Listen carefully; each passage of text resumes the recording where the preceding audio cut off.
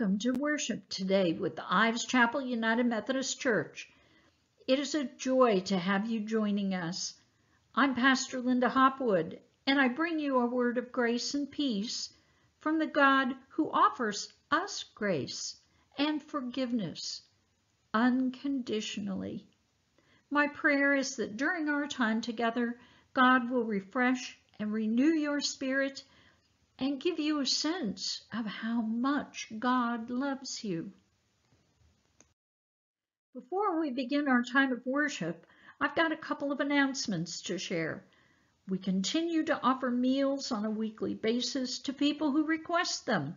This is a program that takes people to cook the meals and even more people to help deliver them. If you'd be willing to help with this outreach effort, please contact Sherry, May, or Joan. We're also helping to support Baldwin families by offering milk vouchers.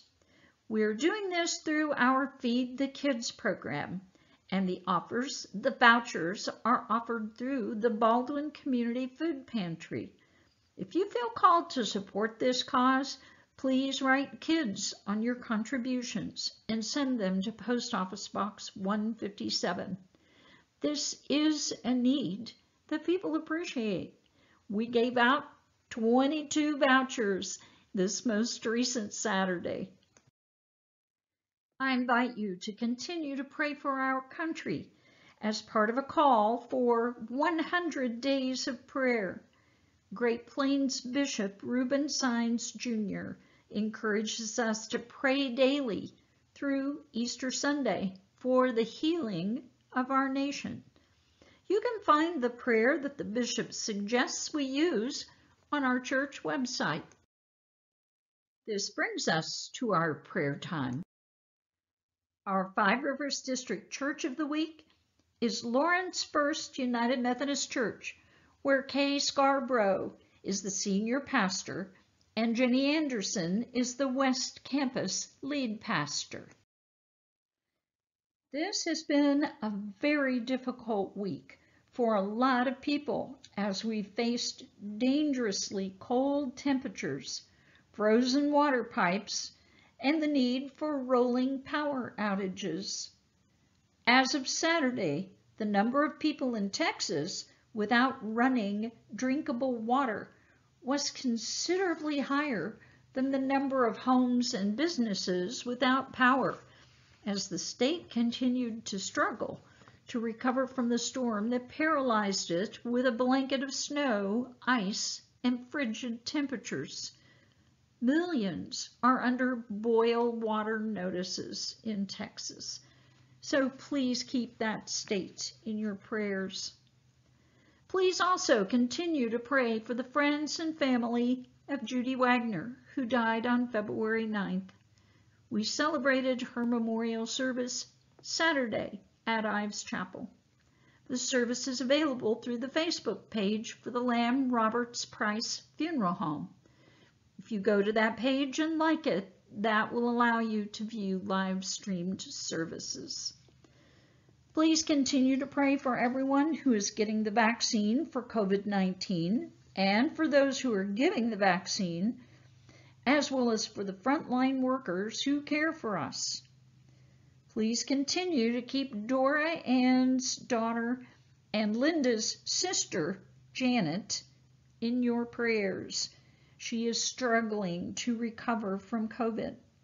She has been in ICU at LMH undergoing treatment for her lungs for more than three weeks.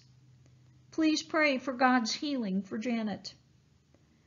Also, pray for Dora Ann, who is anxious about Janet's health. And continue to pray for Tony as he heals from a broken bone in his leg. Please pray for Sandy and her husband as they struggle to heal from the side effects of the COVID virus. Please continue to pray for those in our community with existing health concerns and their caregivers. Pray for our families, young people, and educators. This is a challenging time for students and teachers. Would you please join me as we go to God in prayer? Oh God, in this season of Lent, give us the courage to take up our own crosses and follow the way you have shown us. Give us the faith to keep going with you until the end. Give us ears to lean in and truly listen so we may understand what you were telling us in those final hours on the cross. Give us hearts to make your words part of our own faith experiences so that our lives may serve to be good news for others. Remind us again that since we have spoken the names of people and situations that concern us, we can release them to your healing touch. Lord, help us to place our trust wholly in you, now and forever. Amen. As they begin to better understand who Jesus is, his disciples ask him to teach them how to pray. I invite you to join me in the prayer Jesus is still teaching us as we seek to be his disciples. Our Father, who art in heaven, hallowed be thy name. Thy kingdom come, thy will be done on earth as it is in heaven. Give us this day our daily bread, and forgive us our trespasses as we forgive those who trespass against us. And lead us not into temptation, but deliver us from evil.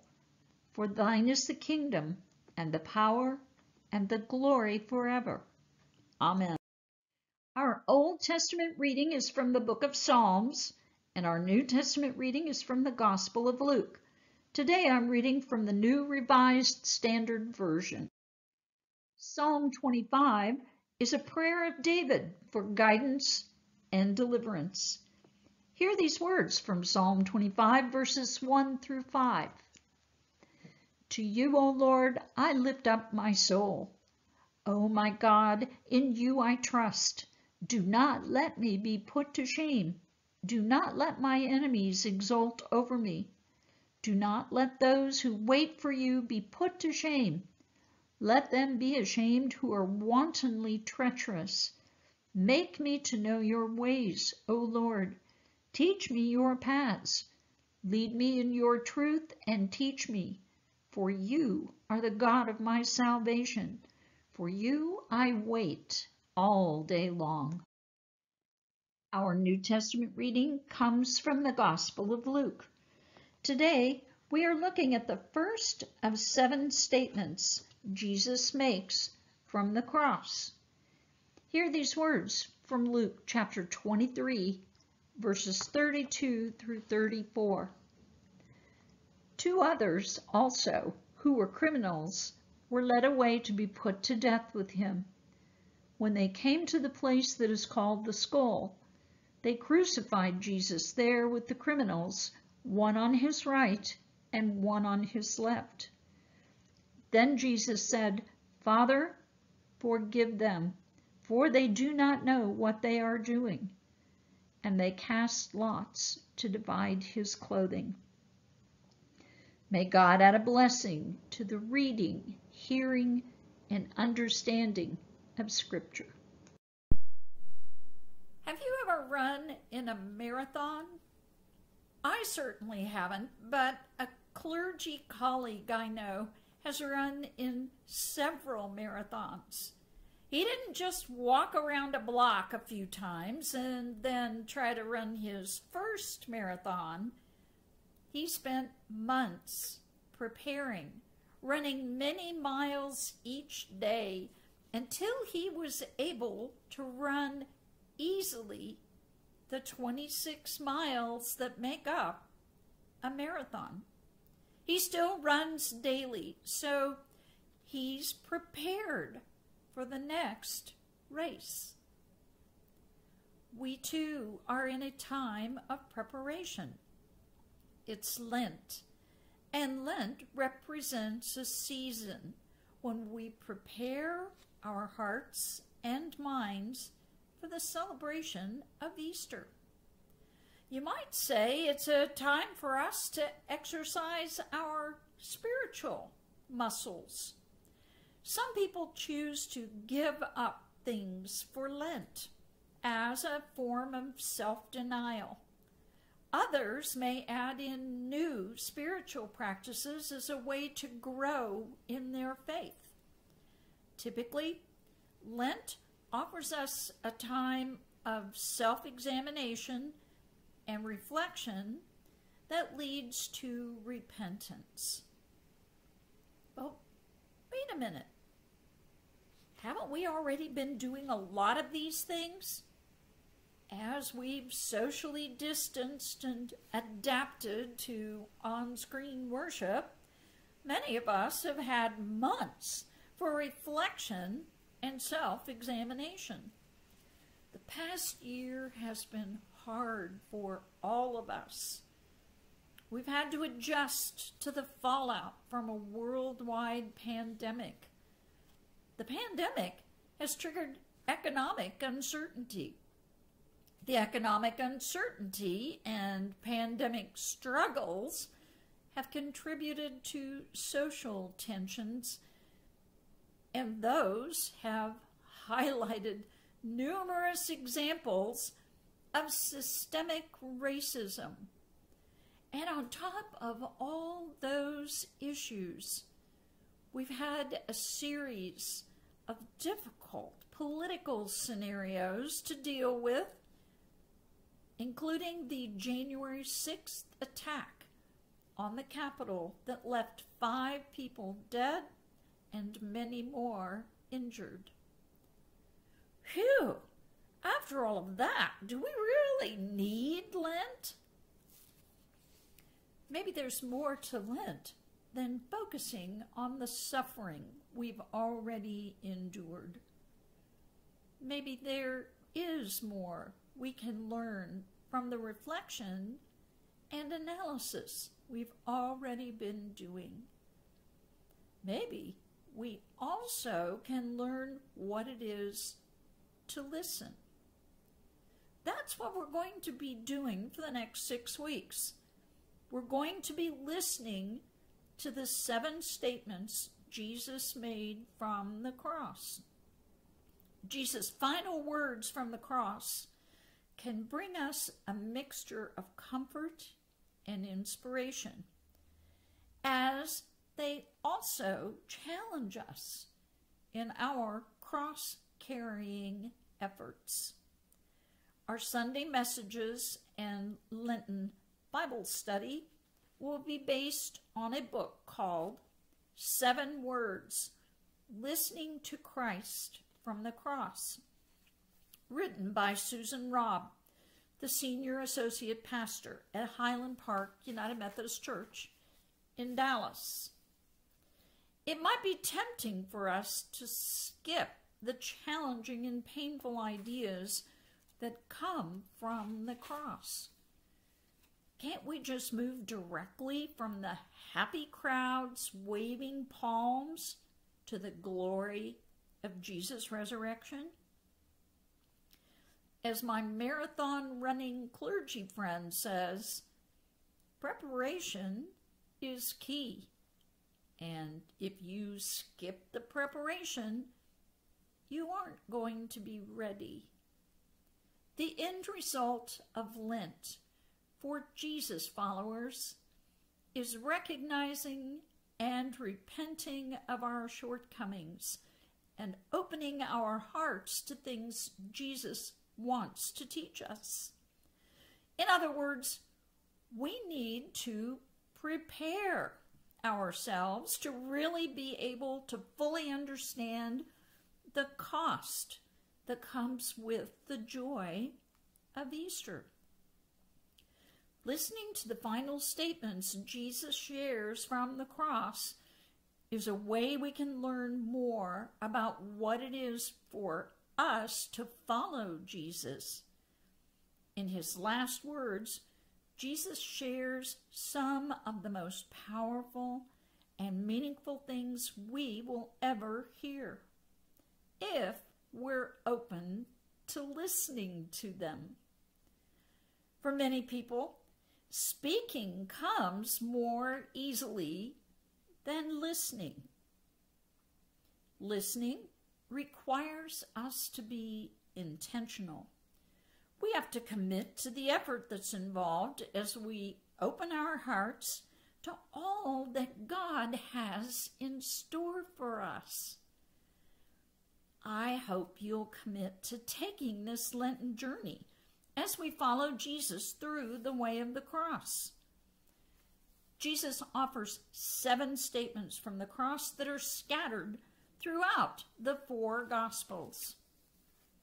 Only one of the final sayings is found in more than one Gospel, and six of the seven statements are found only in Luke or John. And John is the only Gospel whose author was an eyewitness to the crucifixion. It might seem odd to us that we find differences in the way the four gospel writers recorded Jesus' last words. It's not as though the gospel writers are presenting us with contradictory information. Instead, what we get are different perspectives that are directed to the different audiences each writer is addressing. As we see when we compare Matthew, Mark, Luke, and John, they don't all include the same information or details. We see variances in the Gospels with other stories and parables not just in the accounts of Jesus' death. As we look across the four Gospels at the seven last statements that are recorded, we can gain a clearer picture of who Jesus is and what he calls us to do as his followers. Even though we don't know for certain the exact order of his statements. Scholars have established a traditional order that we will follow in our study. We start with the statement found in Luke chapter 23, verse 34. Father, forgive them, for they do not know what they are doing. For those of us who have observed Holy Week in years past, we know what has gone on before Jesus was nailed to the cross.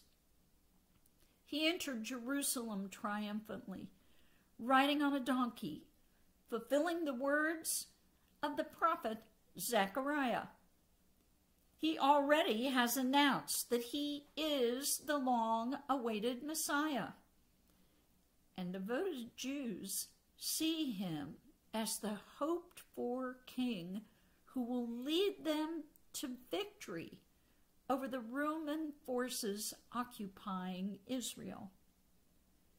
During the season of Advent, we talked about the fact that Jesus is a king just not the kind of king that the crowds are expecting.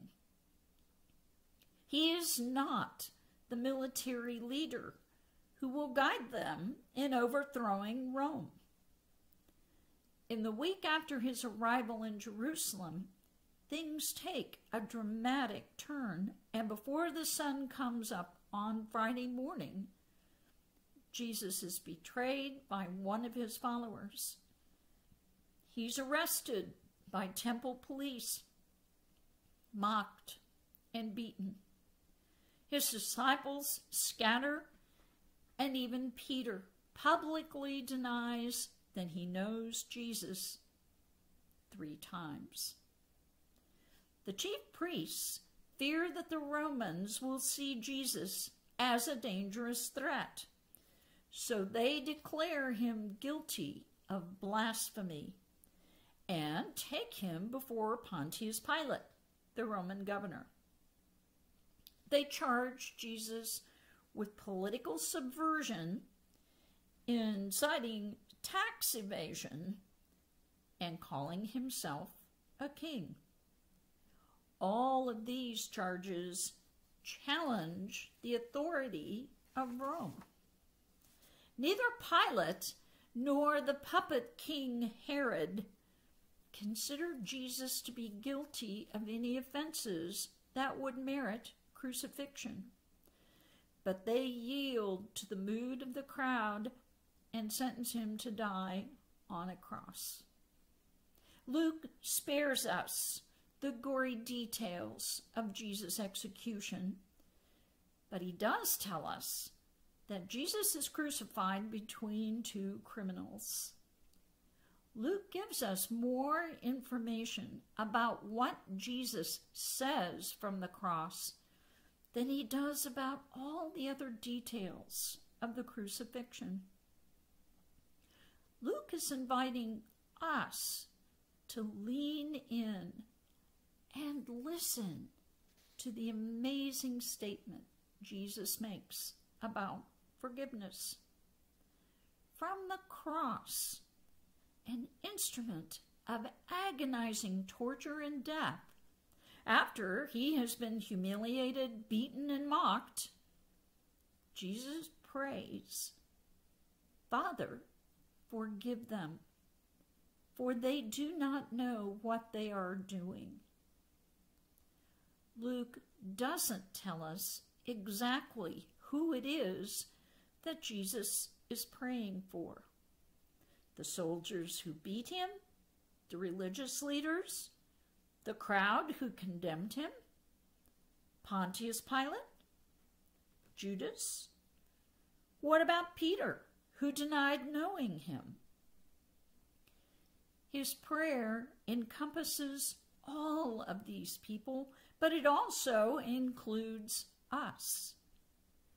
We may not want to acknowledge it, but we too share the guilt. When we allow crowd mentality to guide us to go against things we believe as followers of Jesus, we are guilty of crucifying him little by little when we put our needs ahead of the needs of others.